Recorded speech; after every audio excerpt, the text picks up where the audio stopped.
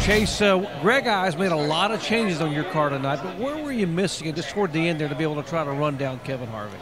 Uh, we were just a little tight right in the middle of the corner. I, uh, I don't know. I think he just outdrove me a little bit, and honestly, I feel like that was uh, some of it was me. I just I kind of let him get a little too far out in front of me there on the first few laps. But uh, I don't know. Just need, get, need to get up on the wheel a little bit harder next week and or next time. You know, if we're in that in that situation again. But uh, to thank everybody at Napa. Uh, all these guys worked hard all weekend. We, we uh, I feel like we came a long way from where we started practice. So it's cool to uh, cool to finish one two for JRM, and uh, congrats to Kevin and those guys. They uh, they were solid all night. Take us through what happened between you and Regan Smith and, and your ability to fight back.